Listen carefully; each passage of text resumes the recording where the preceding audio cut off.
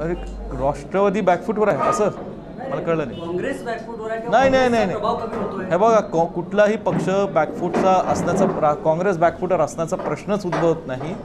मी आपल्याला सांग काँग्रेस हा राष्ट्रीय पक्ष आहे. आणि काँग्रेस पक्षाची सत्ता देशातल्या अनेक राज्यांमध्ये आहे. राजस्थानमध्ये आहे पंजाबमध्ये आहे छत्तीसगडमध्ये आहे. आणि मला खात्री आहे की येणाऱ्या राज्यांच्या निवडणुकीत गोवा पंजाब अशा अनेक राज्यांमध्ये काँग्रेस परत मुसंडी मारणार आहे. आणि अशा परिस्थितीत महाराष्ट्रात सुद्धा आज काँग्रेस मजबूतीने काम करत आहे प्रत्येक जिल्ह्यात प्रत्येक गावाला गावोगावी एक का काँग्रेसचा कार्यकर्ता हा कट्टर आहे. आणि मला खात्री वाटते की येणाऱ्या सुद्धा स्थानिक स्वराज्य संस्थांच्या निवडणुकीत काँग्रेस पक्ष हा नम नंबर वनला राहील. भविष्यात काय बदल अपेक्षित आहेत नेतृत्वात वगैरे महाराष्ट्रात किंवा नाही सध्या मला काही त्याची कल्पना नाही. म्हणून आम्ही सध्या सभासद नोंदणीमध्ये सक्रियपणे सहभागी घेऊ आणि उच्चांकी सभासद नोंदणी करू. आणि जातीचा मुद्दा प्रकर्षाने येतोय. भारतामध्ये एका जाती जन्मलेला माणसाने कितीही धर्मांतर केली ती जात बदलत नाही. थोडं साधं सोपं लॉजिक नाही असतं मला वाटतं त्याला जातीचं मी त्यात पडणार नाही. मला एवढंच सांगायचं आहे की ड्रग्ज या गोष्टीला देशाचा एक नागरिक म्हणून काँग्रेस पक्षाचे कार्यकर्ते म्हणून हे कुठेही देशात हा ड्रग्सचा फैलाव होऊ नये.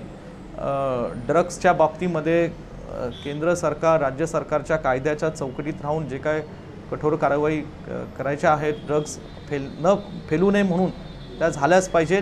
आणि ह्याच्या पार्श्वभूमीवर सत्यसुद्धा उघडकीस आलं पाहिजे. सत्य काय घडतं आहे म्हणजे आता कुणीतरी मला असं कळलं आहे की इथं आमच्याकडनं पैसे वसुलीसाठी आम्हाला खंडणीची मागणी करण्यात आली. असं काही कुणी लोकांनी वक्तव्य केलेलं आहे. तर आता त्या पार्श्वभूमीवर सत्य नेमकं काय हे शोधलं पाहिजे. आणि सत्य काय आहे ते बघून या ठिकाणी पुढच्या कारवाई कायद्याच्या चौकटीत ठेवून राहिल्या झाल्या पाहिजे. नाही नाही आता बघा माननीय मलिक साहेब हे राष्ट्रवादी काँग्रेस पक्षाचे ज्येष्ठ नेते आहेत. राज्याच्या मंत्रिमंडळातले एक ज्येष्ठ कॅबिनेट मंत्री आहेत. मला वाटतं जे काय ते बोलतायत त्यांच्याकडे काही पुरावे असतील आणि ते मला वाटतं वेळोवेळी पत्रकार परिषद घेऊन त्याच्या पुराव्याचंही सादरीकरण करत आहेत.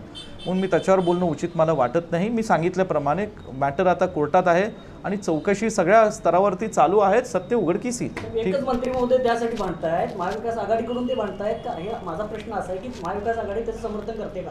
त्यांच्या आरोपांचं. नाही मुद्दा असा आहे की जे काय ते मुद्दे मांडायला लागले त्या मुद्द्यांवरती आता येणाऱ्या काळात सत्य बाहेर यावं म्हणून चौकशी होईल.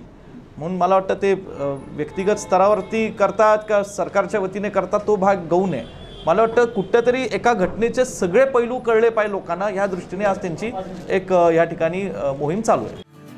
महाराष्ट्र टाइम्सचं यूट्यूब चॅनल सबस्क्राईब करा आणि लेटेस्ट अपडेटसाठी बेल आयकॉनवर क्लिक करा.